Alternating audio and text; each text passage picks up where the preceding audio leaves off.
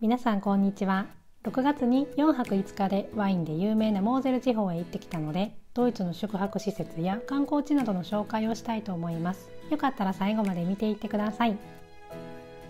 さて今回は初めて義理の両親と一緒に旅行します。車はレンタルしてきました。ハノーファーはフォルクスワーゲン本社があるヴォルフスブルグに近いですしレンタカーはフォルクスワーゲンにしました。ちなみにフォルクスワーゲンドイツではファオベーと発音します。届く当時ファオベーってなんやねんって思ってました。さてハノーファーからモーゼル地方まで車で約5時間。お母さんがつまむものを準備してくれてました。一度トイレ休憩をします。以前の動画でもご紹介しましたがトイレは有料です。子どもたちはトイレ休憩だけなのにハイテンションです。高速道路にあるトイレはだいたい70セントです。ぴったり70セント払えと書いてますが大体はちゃんとお釣りが出ます。50セント分のクーポンが出てくるのでお忘れなく。出口に悩む人も多いのですが入ってきたところからそのまま出ます。おトイレ子供は無料です。大人3人使用したのでクーポンが3枚ありますマックカフェでコーヒーを買おうと思いますちゃんとクーポン3枚分値引きされていますドイツのマックカフェのコーヒーが意外に美味しくて好きですさて、モーゼル地方へ入りました。辺り一面ブドウ畑です。モーゼルのワインを飲むのが楽しみすぎます。さて、ホリデーパークに到着しました。今回利用したのはランダールというオランダの会社の宿泊施設です。ランダールはドイツやオランダ、オーストリアなどヨーロッパにたくさんホリデーパークがあります。私たちが泊まるのはここです。日本でいうところのコテージになりますかね子供たちも私も大はしゃぎです早速中に入ります。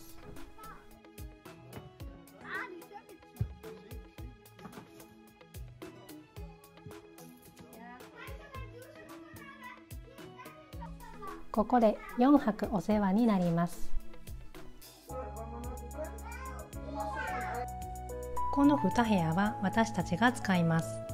左はベッド2つ右はベッドが3つあります。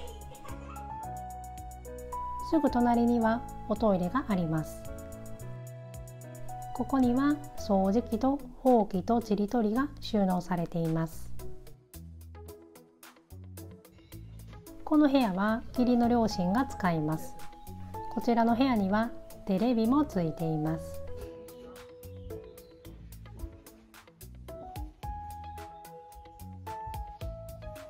部屋の中の扉を開けるとシャワールームにおトイレがついています。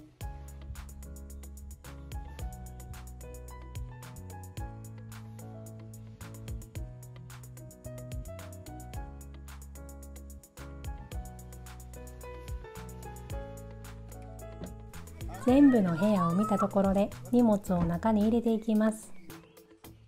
そして家から持ってきたモーゼルワインを開けます。すぐ近くに公園もあるので子供たちはもう行ってしまいました。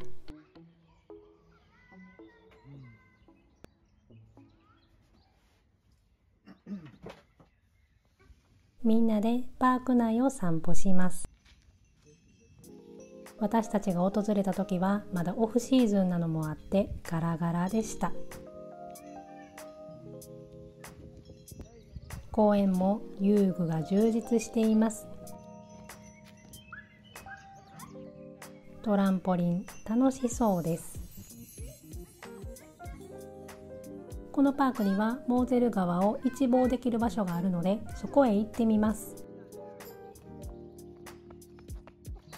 あまりにも長い間旅行をしてなかったので私もハイテンションです。もう少しで着きそうです。天気も良くて最高です。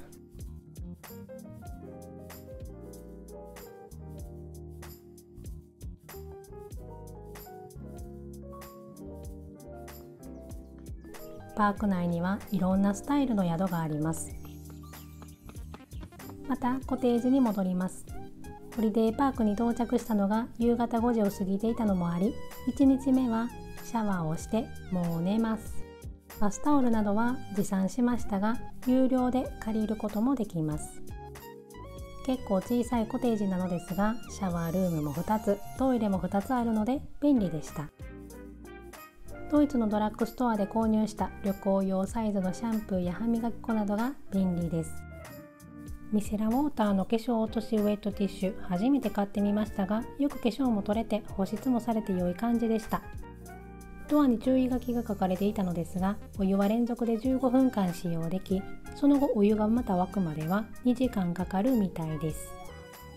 シャワーも浴びてすっきりあとは寝るだけです。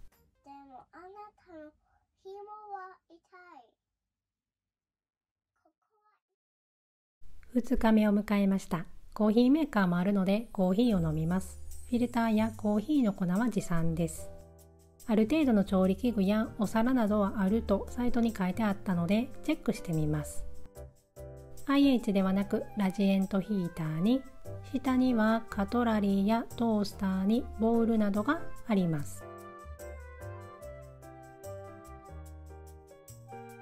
こちらには鍋敷きや野菜カッター下にお皿などがあります。上の棚にはコーヒーカップやワイングラスなどがあります。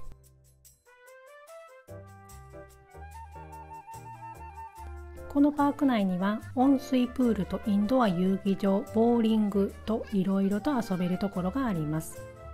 スーパーもあるので4泊5日困ることはなかったです。中に入るとまずはパンですね。みんな大好きヌテラもあります。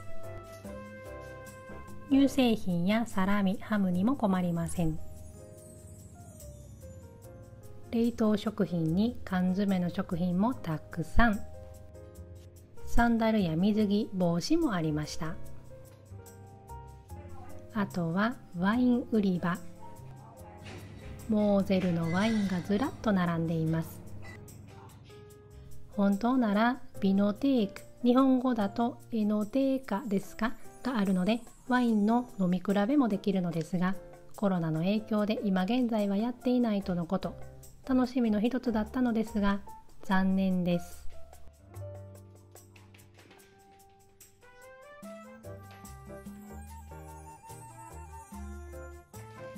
せっかくなのでモーゼルワイン3本買ってきました。今晩飲み比べします。車で少し移動してフォトスポットにやってきました。すごいぶどう畑です。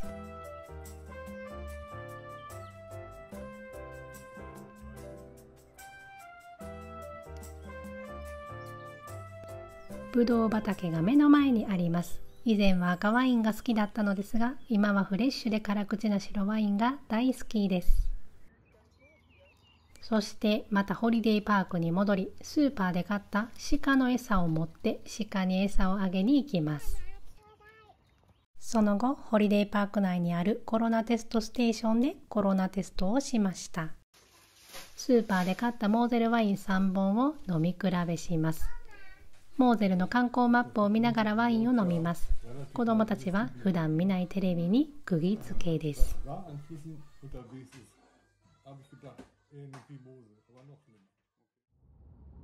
旅行3日目を迎えました。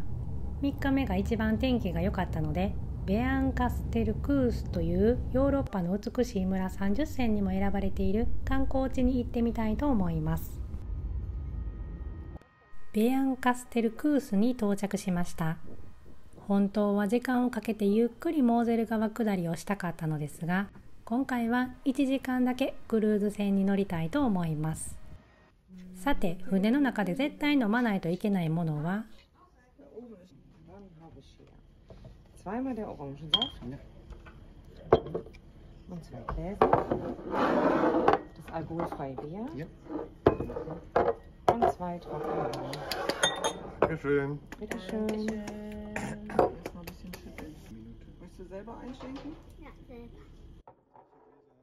もちろん白ワインですよね。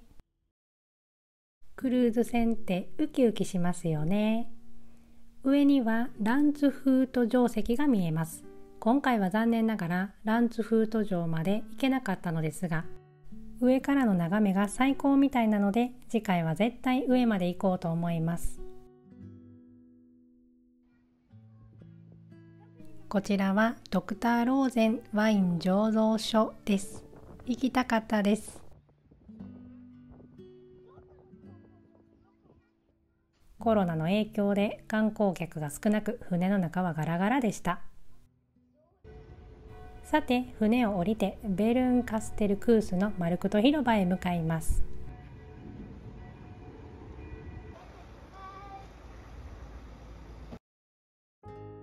マルクト広場に到着しましたどこから見ても木組みの家が並んでてめちゃくちゃ可愛い広場です。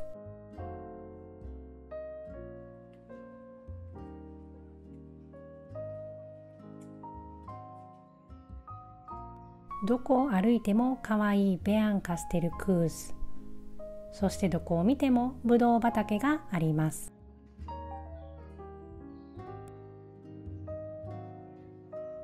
お昼時なのでレストランを探します。ここに決めました。通常であれば勝手に好きな席に座るのですがコロナの影響でレストランの人が席を案内してくれます。さっきクルーズ船で白ワインを飲んだのにまた白ワインを頼みます。リースリングがもう本当に美味しいんですよね。料理が来るまでおとなしく待っていられない子供たちを連れてぶどう畑を見に来ました。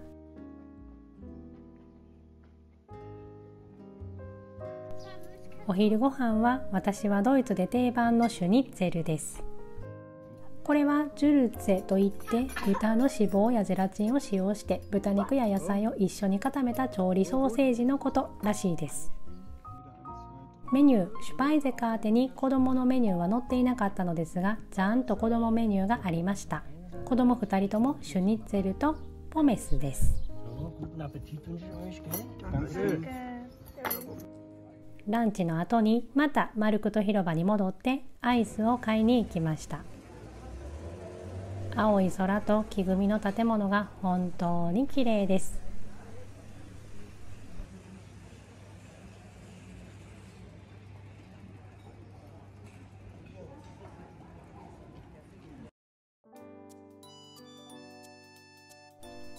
さてまたホリデーパークに戻ってきました。パーク内でパターゴルフをすることもできます。旅行4日目雨です。パーク内ではコロナのネガティブテストが48時間有効なのでまたテストをしに来ました。今日はみんなでホリデーパークの近くにあるブレースフェアバーワイン醸造所にやってきました。いろんなワインのテイスティングをさせてもらいます。こちらのプレイスフェアバーのワインはカビネットで7.5ユーロシュペートレーゼで9ユーロでした。赤ワインのシュペートブルグンダーを含め7本購入しました。次のプランはホリデーパーク内にあるインドア遊技場です。一日中雨なのでインドアで遊べるのは嬉しいです。コロナで入場制限がかかっているので子どもたちも少なめでした。ボルダリングもあります。保護者はゆっくり座りながら子どもたちを見ることができます。私もカプチーノとチーズケーキを食べながら子どもたちを見ます。ハイハイをする赤ちゃんたちもここで楽しめます。最後の夜はパーク内のレストランで夕食をいただきます。ガラガラです。少し寂しいですね。最後の夜は夫婦でモーゼルワインを楽しみます。豚肉フィレの何かとコロッケドイツ語でクロケッテをいただきました。あっという間の4泊5日の旅でした。帰りは渋滞に巻き込まれハノーファーまで7時間ほどかかりました。今回の宿泊施設4泊5日で400ユーロほどでした。1人の値段ではなくてコテージ1つの値段です。めちゃくちゃ安いですよね。義理の両親と初めて一緒に旅行をしましたが特に問題が起きることもなく楽しかったです。嫁姑問題は周りのドイツ人たちの話を聞いていても世界共通だなと思います。私は本当に恵まれている方だなと思います。子供たちにはおじいちゃんおばあちゃんとの思い出をたくさん作ってほしいと私は願っています。ドイツのこの町に行ってみたいなどあればコメント欄で教えてください。私もいろんなところに行ってドイツの素敵なところを皆さんと共有したいです。それでは今日の長い動画を最後まで見てくださってありがとうございました。